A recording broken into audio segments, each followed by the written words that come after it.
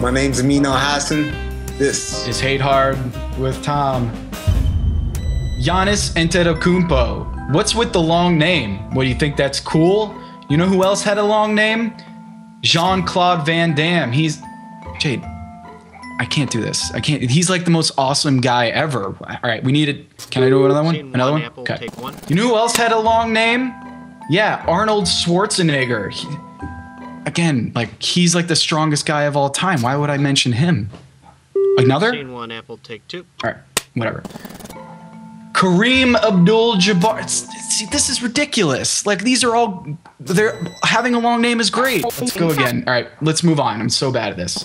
Giannis. Don't you know that Greeks don't belong in the NBA? Jade.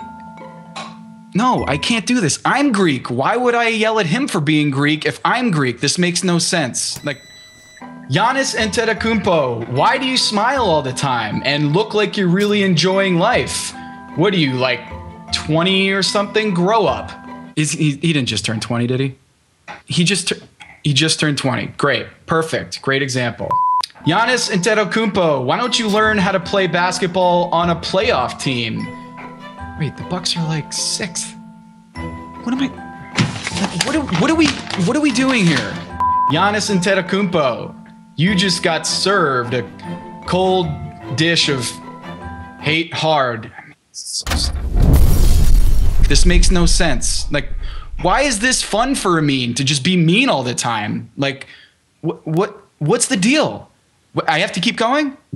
My name is Tom Haberstroh, and this is Hate Hard with Tom.